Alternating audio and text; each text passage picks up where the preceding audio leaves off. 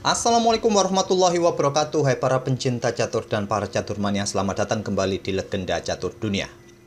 Kita bergeser lagi ke turnamen beregu Rusia. Jika kemarin kita sudah ulas satu game dari gamenya cewek Sekarang gantian yang akan kita ulas ini adalah gamenya cowok atau kategori pria. Di turnamen ini kawan banyak pemain top Rusia yang absen, hanya beberapa saja yang ikut. Mungkin ini bukanlah event utama di negara itu. Dan game yang akan kita ulas ini adalah game pada babak keempat, yaitu game kemarin lusa kawan karena tadi malam adalah hari jeda ada partai yang dimainkan. Dan partai ini adalah partai dari Grandmaster senior Rusia Boris Savchenko walaupun tidak terlalu senior kawan karena usianya masih di sekitaran 35-36 tahun tapi sudah saya anggap senior dengan usia seperti itu. Dan lawannya adalah pemain non gelar tapi mempunyai rating sekelas Grandmaster. Mungkin gelar dia adalah Master Nasional kawan karena mungkin jarang dia ikut event-event internasional, jadi tidak mempunyai norma yang dibutuhkan untuk menjadi seorang Grandmaster. Oke, langsung saja ke atas papan. Bagaimanakah keseruan game yang saya pilih ini? Di sini putih dipegang oleh Boris Savchenko bermain dengan pion D4. Valery Sviridov membalas dengan kuda F6. Valery Sviridov seperti yang kalian lihat mempunyai elo di atas 2500 tepatnya 2569 kawan. Patutnya sudah sekelas Grandmaster dia. Pion C4, pion G6, dan pion F3. Ini adalah permainan anti Granville. Selanjutnya pion D5. Permainan bertransposisi ke bentuk Neo Granville kawan. Pemain seperti Magnus Carlsen, Fabiano Caruana, Wesley So, ataupun Levon Arionan juga pernah bermain dengan permainan Neo Granville ini kawan. Pion C pukul pion D5, dipukul balik oleh kuda, selanjutnya pion E4. Kuda mundur ke B6, kuda C3.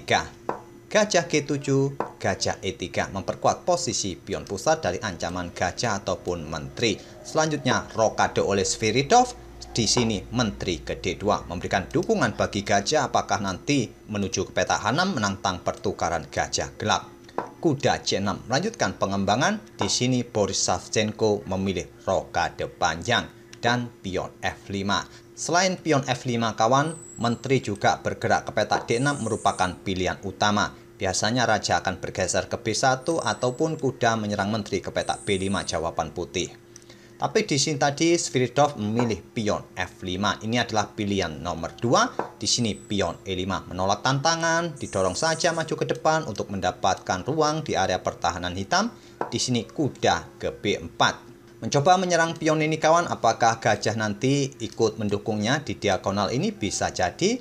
Dan di sini putih tidak berusaha mengusirnya dengan pion A3, putih melanjutkan pengembangan kuda H3. Gajah E6 memberikan backup bagi kuda ambil pion ini, raja ke B1. Dan di sini kuda mundur ke D5, menantang pertukaran kuda ataupun sedang mengincar gajah agar putih tidak mempunyai kekuatan gajah gelap untuk menantang gajahnya nanti. Di sini kuda G5 dibiarkan saja kuda ambil gajah, tapi di sini hitam lebih memilih untuk bertukar kuda dengan tempo skakawan.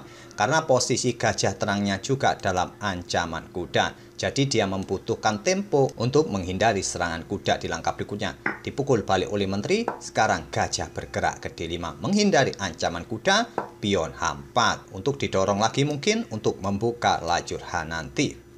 Di sini Menteri Hitam ke D7 menyelesaikan tahap pembukaan kawan dan mengkoneksikan kedua peteng. Boris Savchenko juga melakukan hal yang sama.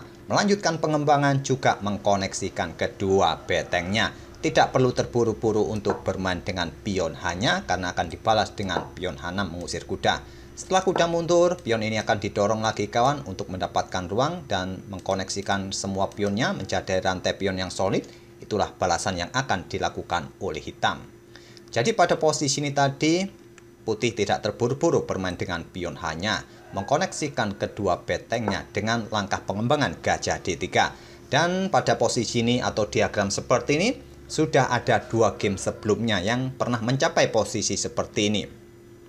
Satu game memilih kuda ini lompat ke peta A4 menyerang menteri kawan, satu lagi bermain dengan beteng A bergeser ke J8. Tapi langkah terbaik adalah menggeser beteng F bergerak ke petak D8. Di sini, Sviridov memilih langkah gajah mundur ke C6. Dan ini merupakan langkah baru yang belum pernah dimainkan sebelumnya di langkah ke-16 ini. Boris Savchenko melanjutkan sekarang pion H5. Pion H6, kuda mundur ke H3, selanjutnya pion G5. Dan tentu saja di langkah berikutnya pion F4 akan dimainkan.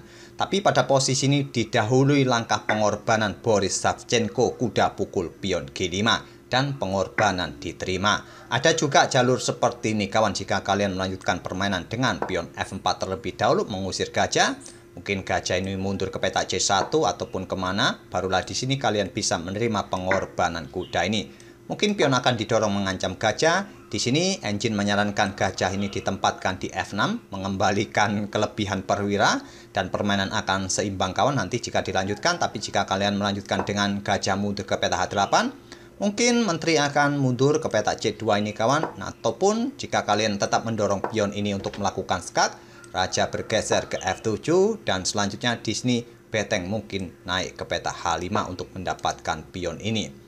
Di sini raja mungkin mundur ke petak 8. Lebih baik tadi seperti yang saya sebut, engine menyebutkan tadi, di sini setelah diancam oleh pion tidak perlu mundur, gajah ditempatkan saja di petak F6 untuk mengorbankan gajah ini agar struktur pionnya nanti solid kawan dari ancaman beteng hitam yang ingin naik ke peta H5. Oke, kita kembali ke langkah aslinya tadi. Pada posisi seperti ini setelah pion G5, Boris mengorbankan kudanya langsung diterima oleh hitam, pion H pukul kuda, dan di sini pion H6 mengusir gajah. Hampir sama seperti yang saya tunjukkan tadi kawan, engine menyarankan gajah ini ditempatkan di peta F6. Tapi di sini Sviridov memilih menyelamatkan gajahnya di peta H8. Sekarang pion H7 skak. Raja ke F7, barulah sekarang gajah ambil pion G5. Putih mendapatkan kompensasi dua pion hitam dan tentu saja tempo serangan di sayap raja. Posisi raja hitam sekarang mulai terekspos kawan. Oleh karena itu pada posisi ini Sviridov langsung menarik mundur rajanya ke tempat yang tertutup ke peta E8 tapi langkah ini adalah langkah kesalahan. Pion E6 merupakan pilihan stok fish kawan. Tapi Svirdov memilih raja bersembunyi ke peta E8 dan di sini sayangnya Boris Savchenko tidak mampu memberikan tekanan berikutnya. Dia menggeser betengnya ke C1. Langkah terbaik bagi putih untuk melanjutkan tekanan adalah gajah H6 menyerang beteng ini kawan. Jika beteng ini diangkat ke petak terang untuk menghindari serangan gajah, pion E6 bisa dikorbankan. Jika diambil oleh menteri, pion D5 juga bisa dikorbankan. Jika disikat oleh kuda dengan tempo mengancam menteri, di sini menteri bisa mendapatkan gajah yang ada di peta H8 kawan. Kalaupun pada posisi ini gajah terlebih dahulu pukul menteri, maka pion juga akan mendapatkan menteri dan nanti mengancam beteng. Ada dua ancaman yang didapat oleh hitam kawan, yaitu beteng diancam pion, gajah gelap juga diancam pion ini. Mungkin di sini Beteng akan ambil pion di sini mengorbankan gajahnya di peta C3 kawan, tapi tetap saja putih akan tetap unggul karena posisinya cukup cantik kawan dengan adanya pion yang ada di peta E6 ini membatasi ruang gerak raja dan nanti ada ancaman di baris belakang. Mungkin dilanjutkan akan jadi seperti ini kawan, kuda D5, Gajah G7 menantang pertukaran beteng, diterima, dipukul balik dan ancaman skakmat di sini. Di sini raja bergeser. Jika ada ancaman skak di sini, maka masih bisa ditutup oleh gajah dan kemungkinan pada posisi ini kawan gajah akan pukul pion F5 terlebih dahulu menjaga pionnya ini dan seterusnya kawan. Apakah beteng nanti jadi melakukan skak atau digeser ke sini mengepin kuda juga bisa jadi diikuti pion maju pun bisa jadi. Dengan kekuatan gajah dalam permainan terbuka banyak diagonal yang terbuka bagi gajah putih tentu keunggulan bagi putih kawan. Apalagi putih juga sementara unggul satu pion. Putih akan baik-baik saja dan mempunyai tempo serangan jika pada posisi seperti ini tidak menggeser betengnya ke C1, lebih memilih gajah ke peta H6 ini kawan. Oke, kita teruskan ke langkah aslinya. Di sini hitam merespon dengan beteng ke D8, memberikan dukungan bagi menteri untuk ambil pion ini ditinggalkan oleh menteri putih kawan ke A3. Jika menteri ambil pion ini satu langkah skakmat kawan. Oleh karena itu, Beteng sekarang naik terlebih dahulu melindungi pion, baru mungkin nanti menteri ambil pion di sini, dijawab dengan Beteng naik ke H4 untuk mempick up pion di 4-nya. Tadi engine menyarankan mengorbankan gajah di peta F6 kawan, sebuah taktik yang menarik. Tapi tak perlu lagi saya tunjukkan, yang jelas pada posisi ini beteng ini diangkat untuk melindungi pion, hitam menjawab dengan beteng bergeser ke G7, mengancam gajah juga pion yang ada di belakangnya. Mungkin kalian mengira bermain dengan pion F4 akan cukup aman bagi gajah ataupun pion. Ingat kawan, gajah terang hitam ini juga mengincar pion ini, menteri juga mengincar pion ini. Jadi ada dua pion yang dalam tawanan hitam kawan akan memberikan kesempatan hitam untuk menyerang balik jika bermain dengan pion F4 sekarang. Boris Shevchenko tidak memberikan kesempatan hitam menyerang. Dia kembali membuat langkah pengorbanan. Berharap diterima, dipukul balik oleh pion, lajur E akan terbuka, Beteng ikut bermain nanti. Tapi Valery Sviridov menerima pengorbanan gajah ini. Berani kawan dia membuka lajur E sekarang. Dipukul balik oleh pion mengancam Beteng dan Beteng ambil pion G2. Selanjutnya Beteng putih E1 skak, Raja naik ke F7, Beteng naik ke E7 skak, menggarpu menteri juga, menteri akan tewas.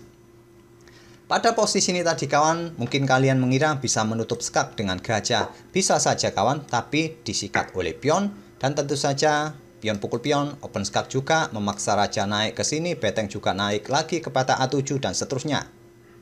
Dan jika pada posisi ini, kalian bermain dengan raja ke F7 terlebih dahulu, pion akan didorong kawan dan juga persiapan untuk menggarbu menteri serta raja berikutnya. Kalaupun menteri menghindar, mungkin bergerak ke peta ini, gajah E2 akan dimainkan kawan. Nanti melakukan skak di sini, tetap saja akan membuat repot raja hitam nantinya. Kalaupun bertukar beteng pukul gajah, dipukul balik oleh beteng, ingat kawan, putih mempunyai beberapa pion yang cukup menakutkan ini. Oke kita kembali ke langkah aslinya saja biar tidak terlalu bulat kalian nanti protes terlalu panjang analisanya tadi. Beteng E1 dimainkan oleh putih tadi skak, raja ke peta F7, beteng naik ke peta E7 skak menggarbu menteri, raja ambil pion, di sini putih langsung sikat menteri hitam kawan, bukan pilihan terbaik. Pilihan terbaik adalah beteng melakukan skak terlebih dahulu. Ini memaksa raja akan keluar ke peta ini kalaupun ditutup oleh beteng disikat, dipukul balik, barulah sekarang Beteng bisa ambil menteri dan seterusnya. Tapi Boris Savchenko setelah raja ini ambil pion langsung pukul menteri. Ini dimanfaatkan oleh hitam melakukan skat bolak-balik di sini kawan seperti ini. Mungkin dia berharap bisa remis dan setelah beteng G2 skak ini Boris Savchenko tidak mengembalikan rajanya ke baris pertama ke C1 atau ke B1 dia mengangkat rajanya ke B3 Peta C1 merupakan pilihan yang terbaik menurut Stockfish. Mungkin nanti bergerak ke peta-peta ini kawan jika ada ancaman selanjutnya skak dari beteng hitam ini. Tapi Raja memilih ke peta B3 dan sekarang Gajah ambil beteng putih. Beteng H6 skak ditutup oleh beteng. Beteng pukul beteng dipukul balik oleh Raja. Menteri ambil pion A7. Langkah blunder besar kawan. Coba lihat kontrol waktu kedua pemain ini. Valery Svidov memang tidak mempunyai menteri tapi kontrol waktunya masih cukup baik kawan.